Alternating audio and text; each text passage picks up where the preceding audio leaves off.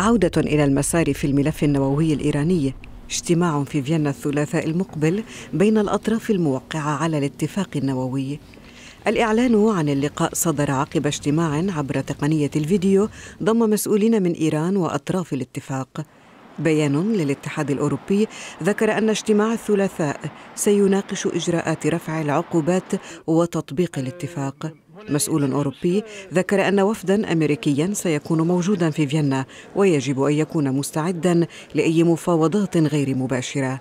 واشنطن أكدت انضمامها إلى المحادثات وأبدت استعدادها لمحادثات مباشرة مع طهران. رغبة سرعان ما استبعدت طهران حدوثها. نائب وزير الخارجية الإيراني عباس عراقجي شدد على أن وفد بلاده لن يجري أي محادثات على أي مستوى مع الوفد الأمريكي.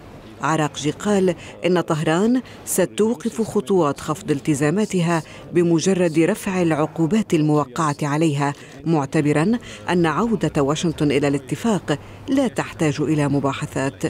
الإعلان عن عقد الاجتماع قوبل بترحاب من الأطراف المشاركة في الاتفاق النووي.